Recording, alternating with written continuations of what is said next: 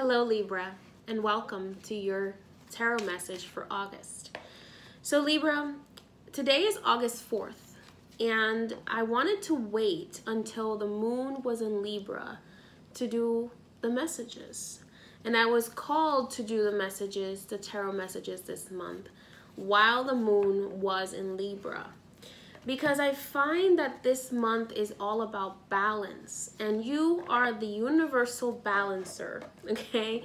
You are the scales for all of us.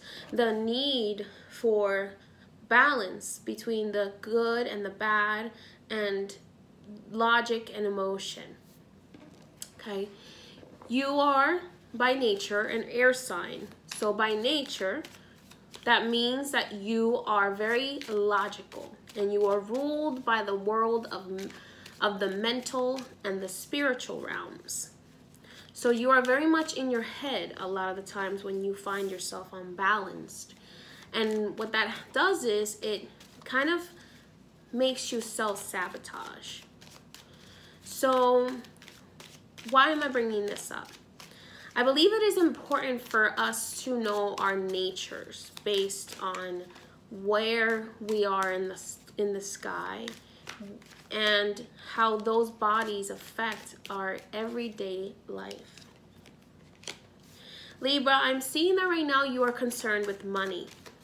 It is a common concern for you. Okay, here's the Wheel of Fortune telling me that fortune is in on your side. And there is the Four of Coins telling me that your biggest fear is instability. It is being unstable financially. It is the thing that keeps you up at night. It is that spirit that sucks you dry because you want to be financially stable. And when you aren't, it makes you feel as if you have failed someone. You have maybe failed yourself or failed an expectation of others that they that you assume was there. So what is the month of August 2019 going to bring for you, Libra, is the question. So let's go ahead and take a look. Again, you are ruled by the world of the mental. So by nature, you are very money driven. Not that you are money hungry, but you are stability driven, materialistically driven. Because the mind is always worrying and concerned with what the physical is going to bring, right?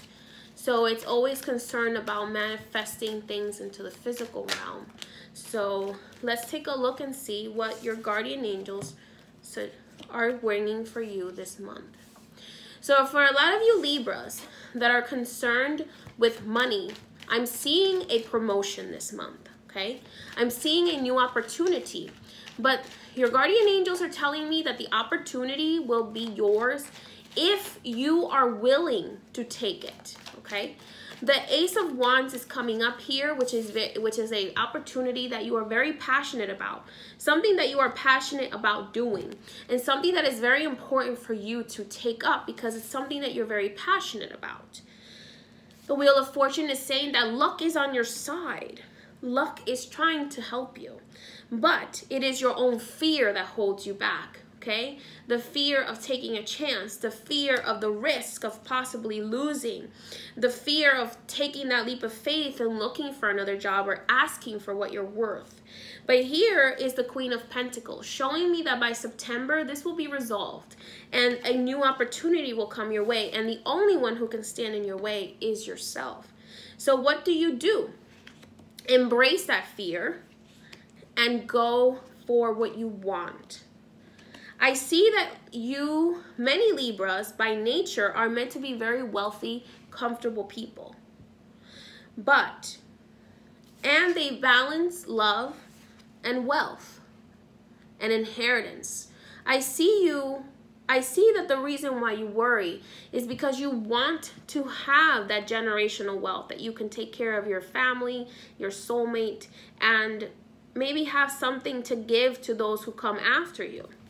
And that is possible, but the only way that it's possible is to fight those negative thoughts away and to embrace the risk, to embrace the opportunities that are being presented to you and to not be afraid to have faith, to use faith as a sword.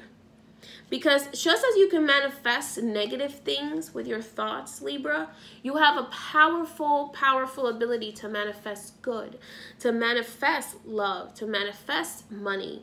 You have that ability if you change your mindset.